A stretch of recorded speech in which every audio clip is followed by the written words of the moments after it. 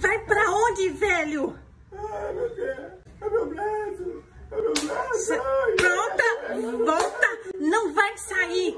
Depois fica aí perdido e fica me dando trabalho. Volte, volte agora. Que filha perversa. Ela tá judiando do pobre velhinho. Parece que quebrou o braço dele. Eu vou chamar a ambulância. Ele precisa de urgência. De, de, de- precisa de urgência de atendimento.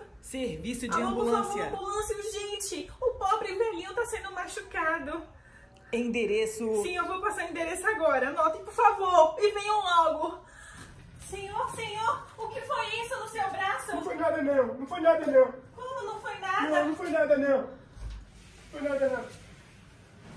E agora? Gente, o que é que eu faço? Visivelmente a filha continua maltratando ele. O que eu devo fazer?